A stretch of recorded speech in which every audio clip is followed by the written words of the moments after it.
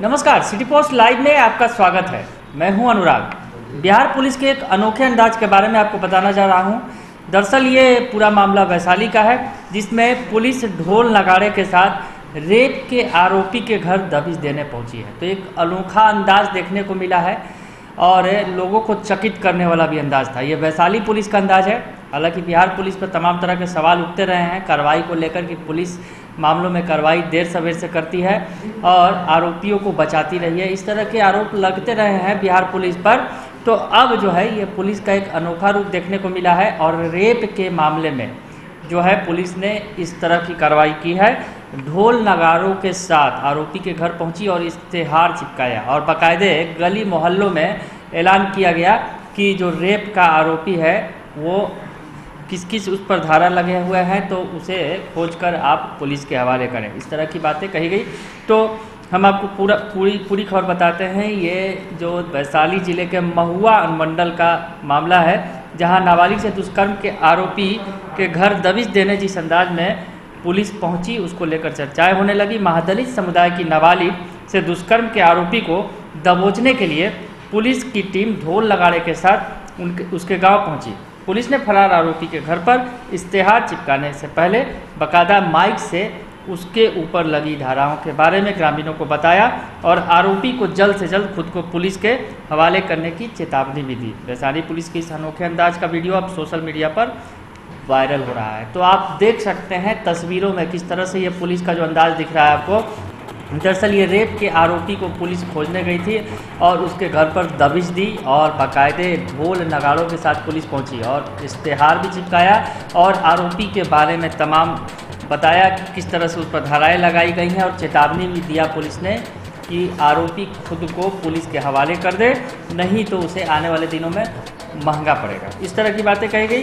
तो महुआ थाना इलाके के इस गाँव में जो है, ढोल नगाड़ों को देखकर गाँव वाले चौक भी गए कि अचानक ये क्या हुआ।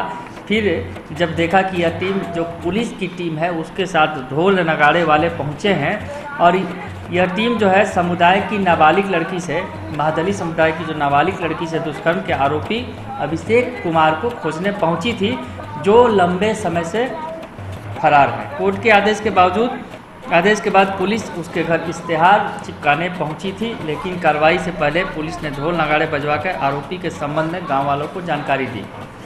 तो आप वीडियो देख सकते हैं कि किस तरह से जो पुलिस है, ढोल नगाड़े बजा के आरोपी को खोज रही है। कोर्ट का आदेश है तो कोर्ट के आदेश का पालन भी करना है पुलिस को तो इस अनोखे अंदाज में पुलिस ने पालन किया है, ढोल नगाड़ा बजाया है, घर पर इश्तेहार चिपकाया है और घर वालों को चेतावनी दी है। साथ ही साथ जो है आरोपी के बारे में गाँव वालों को जानकारी दी और उनसे अपील की कि इस आरोपी को वो अगर कहीं भी दिखे तो उनके हवाले कर दें।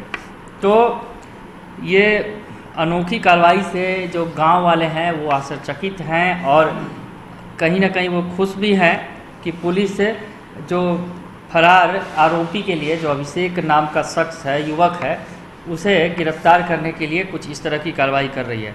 आपको मामला बता देते हैं कि क्या मामला है पूरा।